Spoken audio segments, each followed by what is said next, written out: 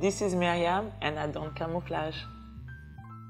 At the beginning, I was more into uh, modeling stuff, picture, because like all young girl, you like uh, you love fashion. I was really interested about fashion. Fashion was the, the, the first kind of love, you know. But then I realized that I didn't want to, to focus everything in my career about the image. I wanted to get deeper than that. That's why I became a designer because I wanted to to share love a different way, and I, I, I didn't like the idea of what an image represents.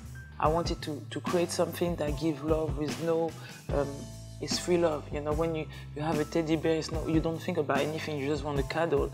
I wanted something like just spontaneous reaction on, and that's why I, I decided to, to, to create a, and become a designer. I've always been a lively person. I didn't camouflage much, you know. Uh, and I had to camouflage in some point to create that project. I had to, to camouflage for about two years. As an adult, to create a teddy bear, you already been judged. It's a funny thing, but to understand my decision was really hard for people. I didn't understand why. So, but I've been confronted to that. So I had to, to stay away from, from, from some stuff like that. So I had to camouflage somehow.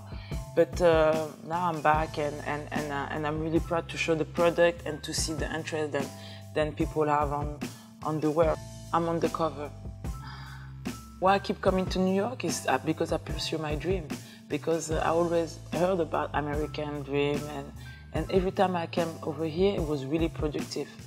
Uh, lives go fast and uh, you meet many different people and I was, that's the type of energy that I really love and it's for me a great pleasure every time to be here.